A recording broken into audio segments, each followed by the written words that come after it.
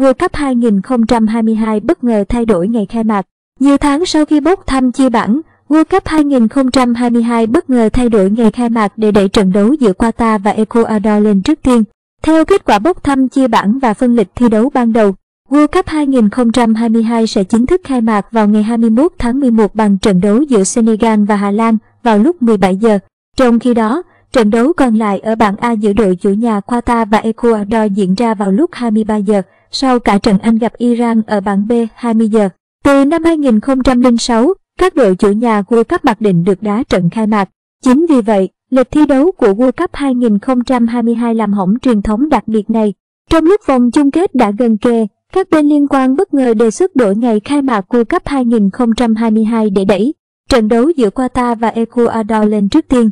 Đề xuất này được hai quốc gia cùng Liên đoàn bóng đá Nam Mỹ CONMEBL đồng ý. Nhiều nguồn tin cho biết FIFA đã chấp nhận yêu cầu này, đồng nghĩa với việc World Cup 2022 khai mạc sớm hơn một ngày so với lịch thi đấu ban đầu. Trận đấu giữa Qatar và Ecuador sẽ diễn ra vào lúc 20 giờ Chủ nhật, ngày 20 tháng 11.